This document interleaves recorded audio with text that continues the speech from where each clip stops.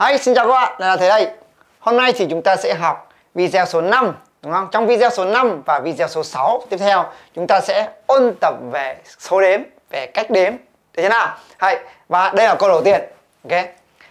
Jitensha o kaemashita. Ok, đáp án của chúng ta là gì nhỉ? Dai. Ok, đáp án là đáp án số 2. Ni dai, được chưa? Hay.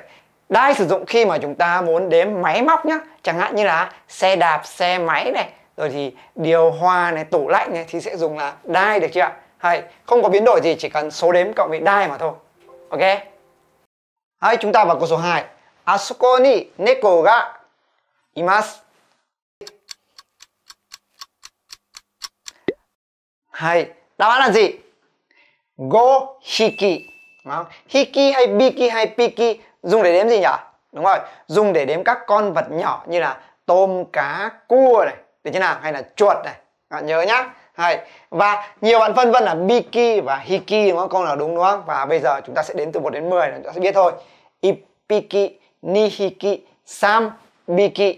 Đó. yong, hiki, go, hiki ropiki nanahiki hapiki kyuhiki và zup jupiki bao nhiêu con thì sẽ là nambiki các nhớ nhá biến âm từ một này ipiki này ba thì sẽ là tèn tèn đúng không Đấy.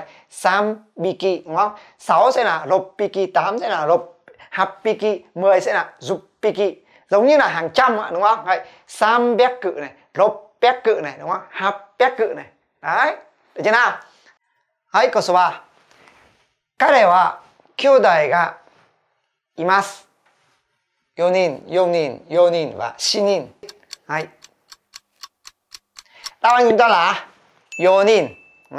Về đếm người thì các bạn đặc biệt nhớ cho mình. 1, 2 và 4 nhé.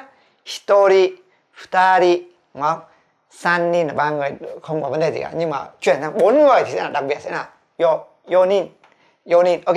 Không phải yonin mà cũng phải yonin. Không phải nhá. Đáp án là yonin được chưa?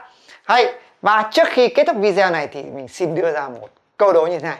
Chẳng hạn, chúng ta sẽ có tình huống như sau. Bây giờ chúng ta sẽ vào một quán ăn và chúng ta sẽ gọi, tạm thời cho anh một chai bia và một đĩa mực. Đấy.